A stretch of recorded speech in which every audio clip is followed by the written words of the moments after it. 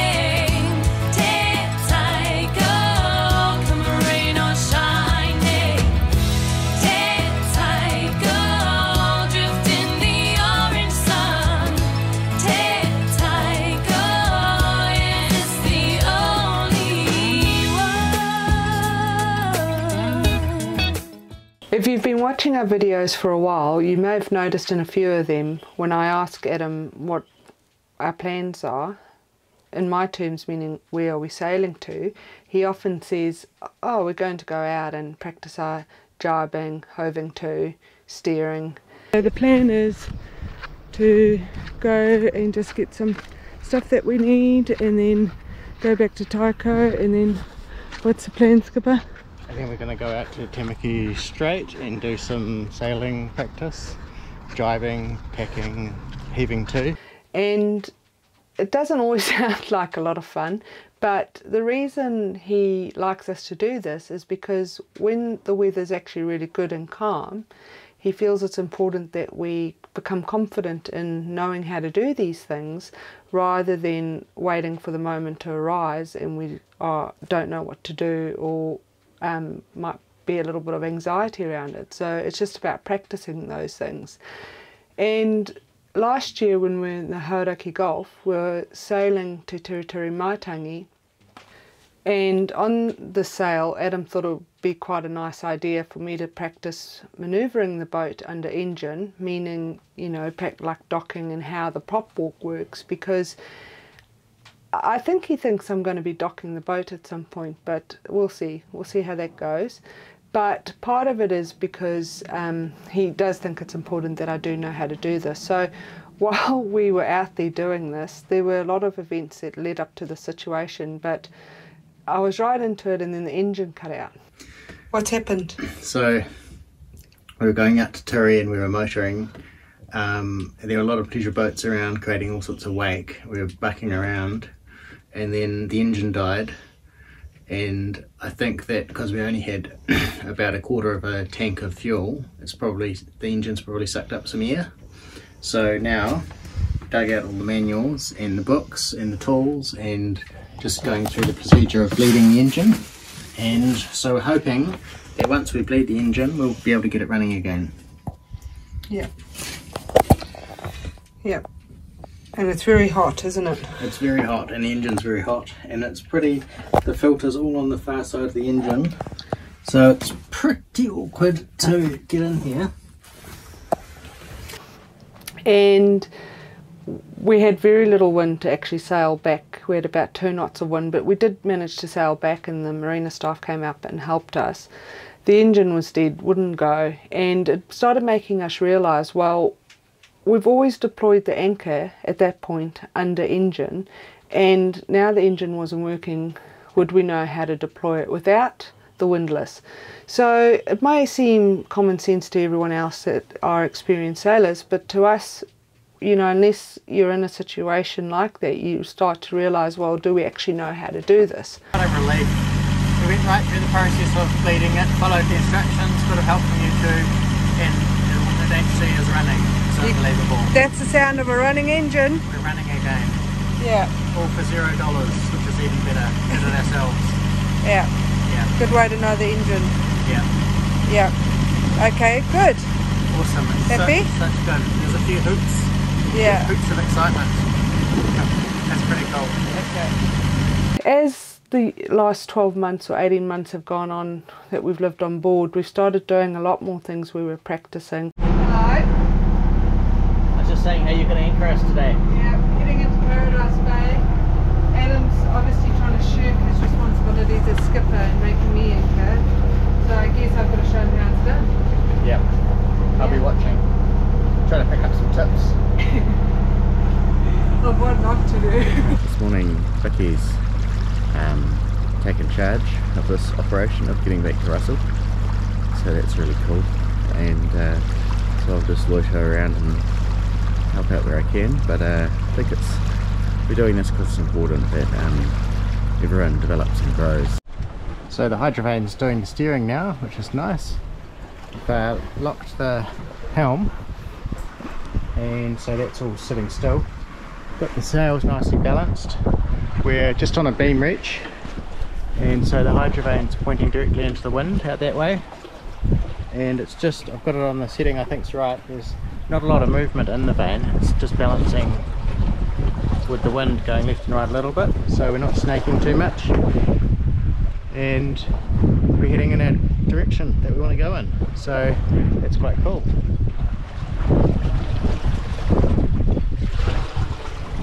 As part of our learning, Adam has also been making sure that he keeps advancing his knowledge and skills. One way he has done this is by learning from more experienced sailors and crewing for them on long ocean passages. In 2022, Adam completed his first ocean crossing from Papeete in Tahiti to Opua in New Zealand, sailing two and a half thousand nautical miles, and more recently has sailed from Hobart in Tasmania to Viti Levu in Fiji, adding another two and a half thousand nautical miles to his log. Having blue water sailing experience has not only given Adam invaluable experience, but having this experience is also a Cat 1 requirement for departing New Zealand by sailboat. One of those you would have seen a few times Adam's gone out solo sailing, so he feels confident manoeuvring the boat on his own. and we're just approaching the Kent Passage so pretty exciting it's just off high tide so there's plenty of water in the passage this morning and we'll be heading through the passage and then heading round to the starboard side and a bit of a downwind sail down towards Black Rocks all is well on board Um, hopefully, I'll get up to a level where I'm confident in managing the boat on our own, on my own, so that if one of us is sick, we know what to do. Another skill you'll often see is you always you might see us hand steering a lot. got crew on the wheel Slave driver. yeah so but there's a smile there so that's good You, what do you think? beautiful morning Yeah, beautiful morning sailing been really good yeah, upwind. It's pretty breezy. Skipper's on the helm and he's loving it, aren't you? Yeah. Adam's shirking his responsibilities again. We've set up a 15 minute watch system just to make sure everything's even. Because there's been reports that some crew haven't quite been on the helm as much as one might expect. Yes, so I've had to enforce 15 minute rules. Well played, well played. And originally, that was because we didn't actually have an autopilot. We had great difficulty in getting an uh, autopilot installed. And so, for the first year of owning the boat, we actually had to hand steer everywhere, um, which was good but a little bit tricky in some situations because it meant someone had to be on the helm all the time. So, we did eventually get an autopilot installed. Someone managed to do it, and but we've still practiced hand steering um, because you can't always rely on an autopilot. And in actual fact, when we picked our friend Joe up in the last video, our autopilot stopped working. yeah. So becoming confident doing that's also really, really important. So what we decided to do is put a series of videos together and we're going to call it Skipper's Boot Camp because that's what it feels like at times.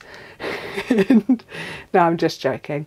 We're going to call it Skipper's Boot Camp and we're just, because Adam's got a lot of um, trick ideas up his sleeve of things that he wants us to practice before we head offshore. So you'll see a lot of great content coming out. Adam get, decides what actually is the content that he's going to cover in these videos.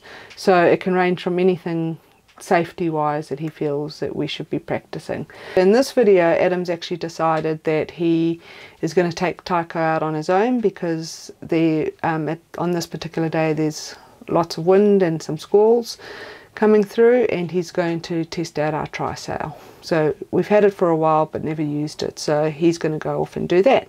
So we hope you enjoy it and we'll see you again soon. So the Storm Trysail is a storm sail which can be used in place of the mainsail. It has a surface area of 6 square metres which is slightly smaller than the size of our main with the 4-3 fin. A main purpose of the sail is to drive the boat forwards upwind in very strong winds or in storm conditions. So the idea of today was to go out and try out the trysail. So I motored down to Paihia where I anchored temporarily to get the sail hoisted and the sheets attached.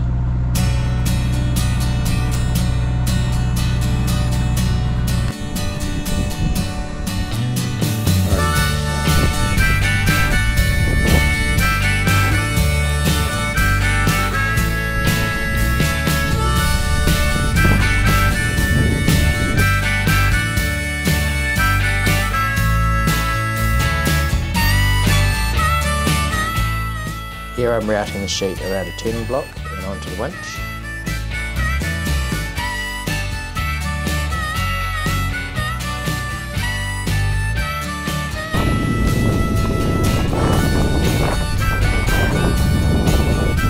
And I was pleased to be out practicing hoisting the sail as it became clear that the lazy jacks needed to be dropped in order to get the sail up the track.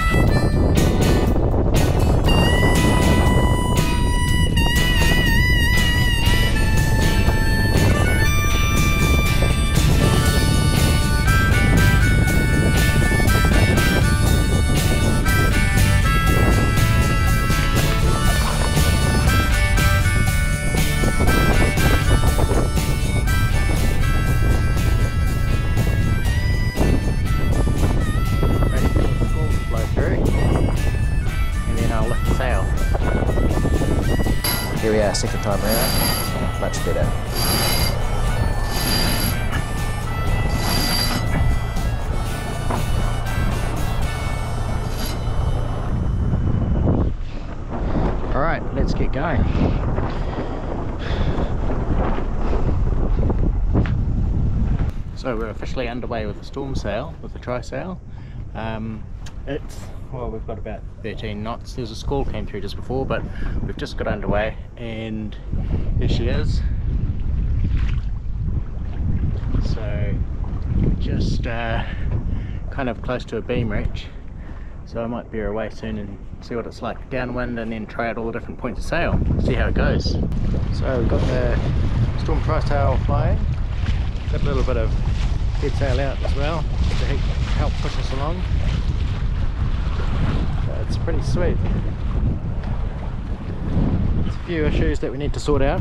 One of those issues is the sheet colour's black, which is also the same colour as our uh, Genoa sheets and our main halyard um, so that's no good, we'll have to change it uh, probably to something bright um, also the sheet diameter at the moment is too narrow to go on to be um, useful in the self-tailing part of this coaming winch. So I think we'll um, upscale the sheet size. Um, yeah so there's a few things already that just need to be sorted out but that's that's why we're out here doing it. So all good. So we've got 25 to 30 knots going now and uh, all as well. It was slightly held over, but everything is going really well with the sail, so seems good. Thanks so much for joining the video. I hope you enjoyed the Skippers Bootcamp content. Let us know what you thought of it. Uh, remember to like the video and we love hearing from you with comments so please do comment. Please remember to subscribe and share the video, it really helps us. If you'd like to see more of this, please let us know. And for now, the, from the crew of Te thank you very much for watching and we look forward to sharing future videos with you. See you later.